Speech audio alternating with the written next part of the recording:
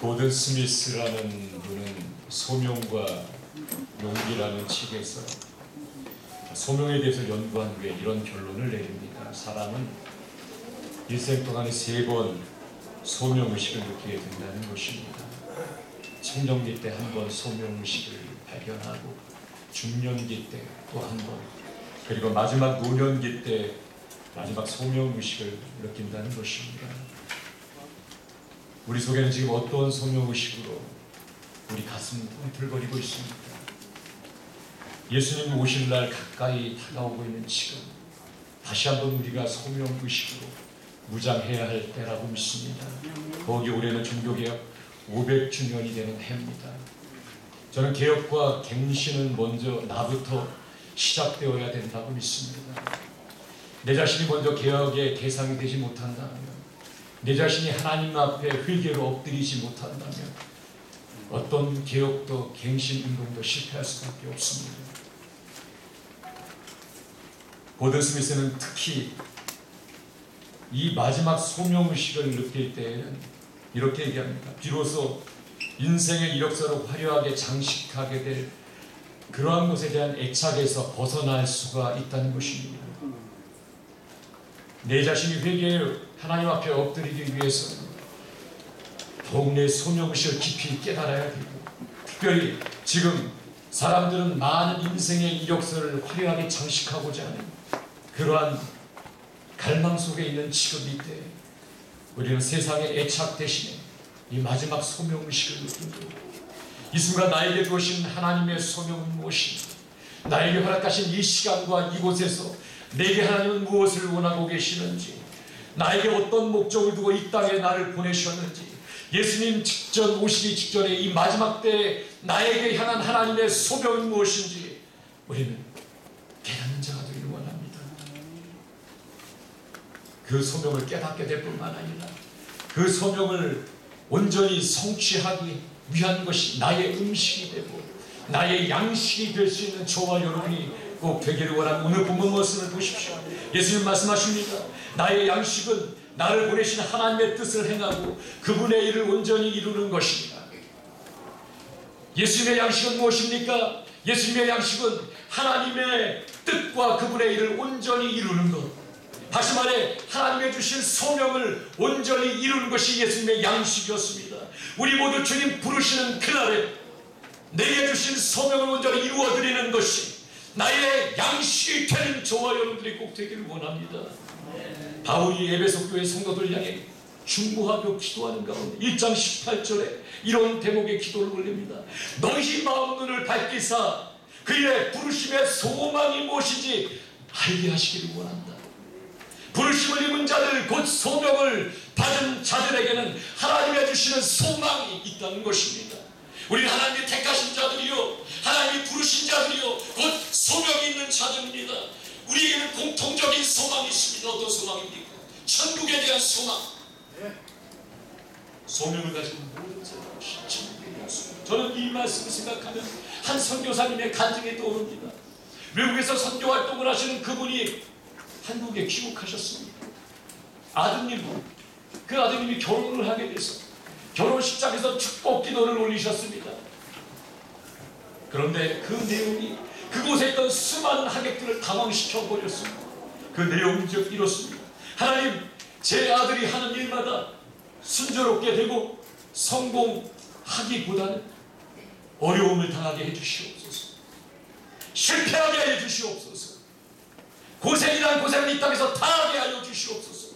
다만 그 속에서 예수님 한 분만 붙잡게 하여 주시고 반드시 천국을 소유한 자가 되게 하여 주시옵소서.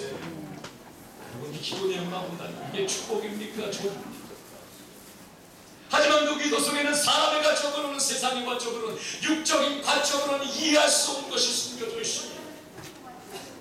내 자신의 영혼을 너무나 사랑하기 때문에 그가 반드시 천국에 들어가길 원하는 아버지의 절절한 사랑이 숨겨져 있습니다. 세상에서 길을 잃어버려 하나님을 잃어버릴까봐 천국을 잃어버릴까봐 노심초사 그래서 너는 반드시 천국에 들어가야 한다는 아버지의 확고한 믿음이 숨겨져 있습니다.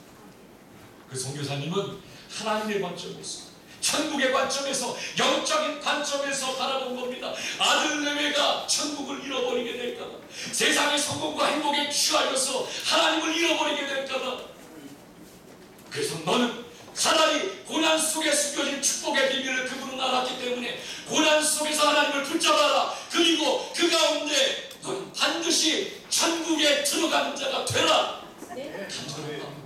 것이고 주님은 나의, 나의 최고봉이란 책의 저자입니다 하나님의 사랑 오스왈 참고로서 이렇게 말합니다. 똑같이 말할 수 있습니다 당신은 종종 예수 그리스도께서 한 영혼을 구원하실 때 그의 삶을 파손시킨다는 것을 보게 될 것이다 이와 같이 예수님은 우리의 영혼을 반드시 천국에 들어가게 하기 위하여서 때때로 인생의 파손에 그 길로 인도하시고 나를 실패 속으로 몰아넣으시고 나를 불행한다고 생각되는 환경 가운데로 밀어넣으신다는 겁니다. 하지만 그 결말은 무엇입니까? 영원한 드라마에서 주인공이 온갖 고난을 헤쳐나가고 마지막에 행복하게 끝나는 걸 해피엔딩이라고 합니다. 마찬가지로 하나님은 우리 모두에게 해피엔딩 의 주인공으로 서기를 원하시는 거예요. 천국에서 영원한 행복둥이로 서기를 원하시는 거예요. 하나님께서 택하시고 부르시고 소명을 주신 우리들 모두에게 우리의 문이 활짝 열려서 너희의 마음의 문을 활짝 열어서 부르심의 소망이 무엇인지 너희가 알게 하기를 원하고 하신 것처럼 우리 마음의 문을 활짝 열어서 천국에 대한 소망으로 채우기를 원하시는 거예요. 우리의 마음도 생각도 정신 상태도 우리의 세계관도 우리의 가치관도 우리의 사상도 거듭나길 원하시고 할례 받기를 원하시고 활짝 뛰기를 원하시고 새롭게 변화되는 자로 원하시는 거예요. 그럴 때 세상에 대한 사람들이 행복이라고 말하는 것들 불행이라고 믿는 것들에 대한 우리는 전혀 다르게 볼 수가 있습니다. 성경에 나온 부자와 거짓 나사로 이야기가 그렇지 않습니까? 핵심 메시지가 무엇입니까? 이 세상에서 행복한 삶을 살았던 부자 불행한 삶을 살았던 거짓 나사로 천국에서 완전히 뒤바꾸어지고 놀라운 반전이 일어난다는 거예요. 어찌 보면 세상에서 행복한 삶이 천국과 상관이 없습니다. 정반대일지도 몰라요. 오히려 세상에는 고난을 많이 당하기에 세상에서 실패를 많이 당하였기에 불행한 삶을 당하였기에 그래서 하나님과 묵밖에는 의지할 자가 되지 못했기 때문에 하나님 붙잡고 대롱대롱 매달렸다 보니 천국을 사모하다 보니 천국에 가서 놀라운 행복둥이로 바뀌는 놀라운 반전의 주인공이 되는 것입니다. 우리는 예수님 없이 이 세상에 행복한 자 되지 않기 아멘. 예수님 때문에 우리의 소명 주시고 천국의 소망을 주신 그분 때문에 세상에서도 행복하고 천국에서도 행복한 자 아멘. 마귀에게 속았어요. 세상 사람들이 말하는 행복한 삶, 그 프레임에 갇혀서 사는 그래서 결국 도착해보니 종착역이 나사로 부자처럼 지옥으로 떨어지는 불행한 자 나도 되지 않고 내 사랑하는 자도 되지 않고 내가 기도하는 영혼들 중에 한 심령도 그런 데 들어가지 않기를 원합니다. 우리 모두 오늘 함께 말씀 제목을 외쳐보겠습니다. 소명은 나의 양식입니다. 소명은 나에게 양식입니다. 소명은 나의 양식입니다. 소명은 나의 양식입니다. 성경에 나온 에녹 그에게도 소명이 하나 있었습니다. 첫째 아들이 무두셀라 65세 때에 낳았을 때 이전까지 성경에 그에 대한 행적 하나도 나오지 않아요. 뭘 말합니까? 평범한 삶. 너무나도 평범한 삶을 살았던 거예요. 그런데 갑자기 성경은 65세 이후에 그가 300년 동안 하나님과 동행하는 자의 삶을 살았더라. 하나님을 기쁘시게 하는 자의 삶을 살았더라고 증거하고 있습니다. 어떻게 하루아침에 180도 바뀐 겁니까? 평범한 삶에서 어떻게 특별한 삶으로 바뀌어진 것입니까? 히브리서 11장 5절은 말씀하십니다. 믿음으로 에녹은 죽음을 보지 않고 옮겨왔습니다. 옮기시고 다시 보이지 아니하니라. 에녹이 65세 때 보는 날 하나님께서 그를 찾아와 주신 겁니다. 너는 내가 죽음을 보지 않고 산채로 천국으로 올라가는 자로 내가 너를 축복하리라. 그것을 에녹은 믿은 것입니다. 그러므로 오늘 본문 11장 5절 히브리서처럼 믿음으로 에녹은 죽음을 보지 않고 옮겨왔으니 이 말이 응해진 것입니다. 에녹은 죽음을 않고 몸체로 그를 끌어올리신 천국으로 올리신 그것을 위해 자신을 부르셨고 이 땅에 보내셨다라는 믿음이 생긴 거예요. 그것 그것이 소명임을 깨닫게 된 겁니다. 그리고 내가 어떻게 살아야지 이제는 내가 이제 하나님과 동행하는 삶을 살아야겠구나. 하나님을 기쁘시게 하는 자의 삶을 살아야겠구나. 소명의식을 느끼게 된 겁니다. 이후로에는 더 이상 평범한 삶을 살 수가 없었어요. 이전까지는 하나님과 동행하는 삶, 뭔지 몰랐던 자였지만 그의 일성이 완전히 뒤바꿔서 300년간, 300년간, 무려 300년간 하나님과 동행하다 결국 하나님의 죽음을 보지 않고 산채 올리신 전무후무한 역사의 첫 번째 주인공이 된 겁니다. 우리를 또한 하나님 외에 나를 이 땅에 보내시옵니다. 지금 이 순간 하나님이 나에게 원하신 목적은 무엇인지 애국과 같이 나의 소명을 깨닫는 자들을 원합니다. 그리고 그 소명 의식을 깨닫게 될 뿐만 아니라 그것이 나의 양식이 되는 자가 되기를 원합니다. 그 소명이 애국과 같이 내 인생의 터닝 포인트가 되고 내 인생의 전환점이 되기를 원합니다. 이전까지 내가 평범한 삶을 살았다고 않습니다. 그 순간부터 오늘 순간부터 하나님과 동행하는 삶을 시작합니다. 하나님을 기쁘시게 하는 자의 삶을 시작하는 저와 여러분이 되길 원합니다. 노아에게도 소명이 하나 있었어요. 너는 대홍수를 피할 수 있고 방주를 만들어. 너의 소명입니다. 온 세상을 물로 심판할 때 너는 너의 가정은 구원을 받아서 새 역사의 주인공이 돼. 그것이 노아의 소명이었습니다. 그는 그 소명을 붙잡고 살았습니다. 평지도 아니에요. 산 꼭대기에 120년 동안을 배를 채웠습니다. 사람들은 미쳤다 그러죠.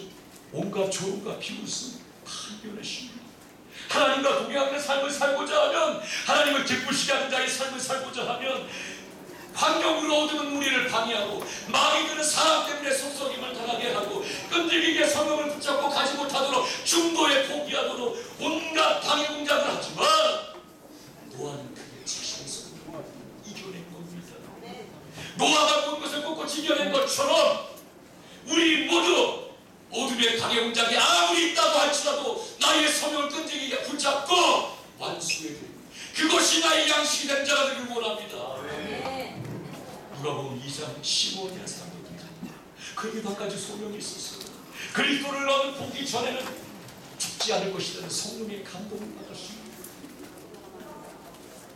그리스도를 보기 전에 보고 나서야 그가 죽게 된 그러한 자신의 소명을 깨닫게 된 겁니다. 이스라엘을 구원하신 메시아 그것을 소명으로 하고 일평생 기다리면서 성전을 중심으로 생활하면서 하나님과 함께하는 삶을 살았습니다.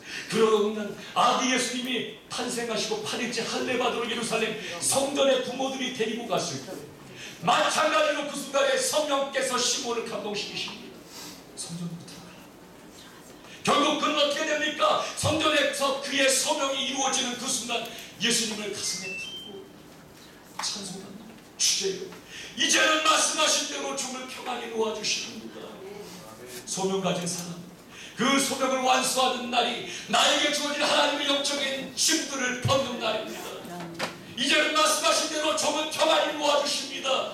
고백하는 되는 것이고 우리는 천국 갈 때까지 소명이 나의 양식이 되어집니다.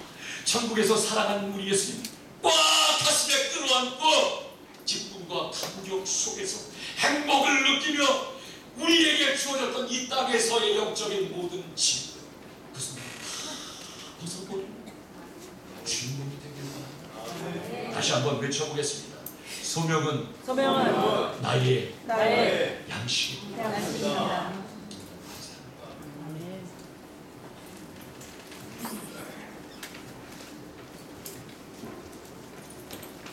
네, 귀한 말씀 감사합니다. 소명은